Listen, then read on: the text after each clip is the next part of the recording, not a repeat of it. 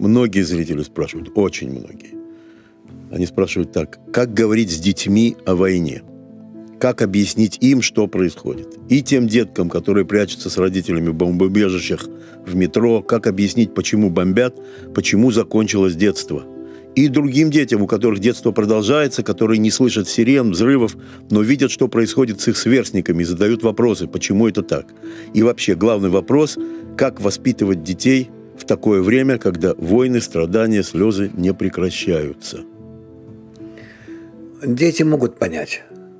Да? Да. Потому что они же тоже между собой воюют. Эгоизм ведь он работает с, с молодых ногтей. Да.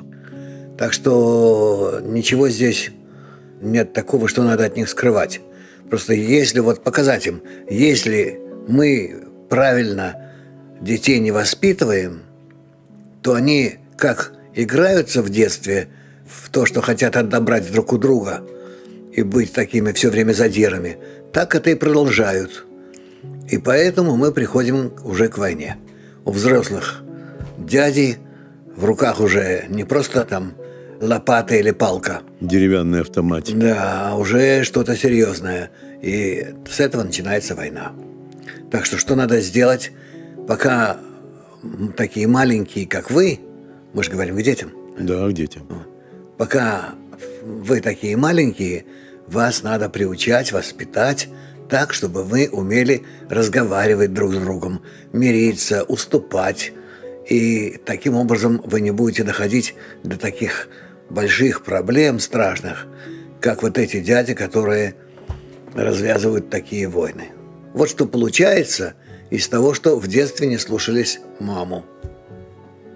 Да. Вы а что, не так? Вы считаете, что услышит ребенок это, да? Когда он увидит это самое, да. он очень впечатляется. Когда он находится под, грубо говоря, обстрелами, да? Да, конечно. Ему можно вот это вот так вот... Так, да? рассказать ему, конечно, это и есть воспитание. Это основа воспитания военного времени. То есть не развивать враг, ненависть. Нет, нет, вот нет, это нас. Они, они это не поймут. Для них это беспочвенно. Нет основы.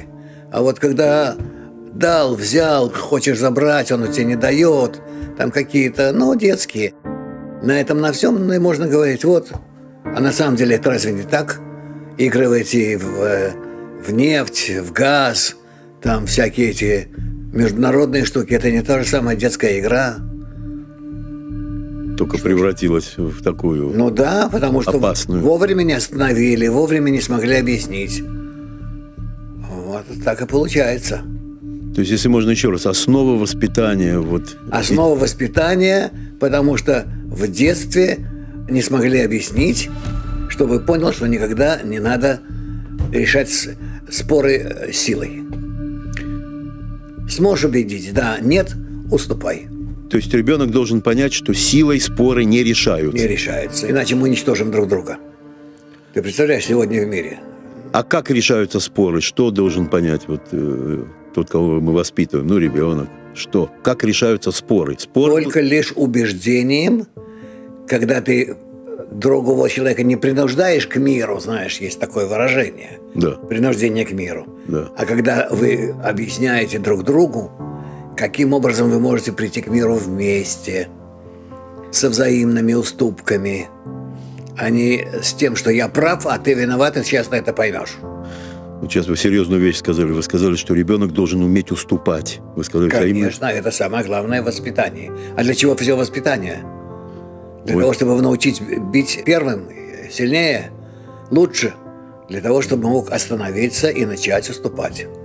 Это самое, по-моему, сложное. Вот это вот. Конечно. Особенно для детей. Для детей, потому что у них раскрытый эгоизм, маленький, но открытый. Прямой такой, да. да. Там не надо адвокатов, не надо... Всех. Ничего не поможет.